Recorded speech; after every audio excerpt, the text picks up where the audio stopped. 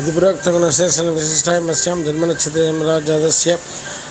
महत् राघवेन्द्राणामदे प्रचीदेसायनामदे सिसाकुटुम्बानं सहमश्रीजराज्ञैश्वर्याणामभिचित्तम् इष्टकाम्य सिद्धत्वं श्रीसन्तोषीमातापादरञ्जः हरिद्राकुङ्कुमार सम्बन्धे करिष्ये ओम्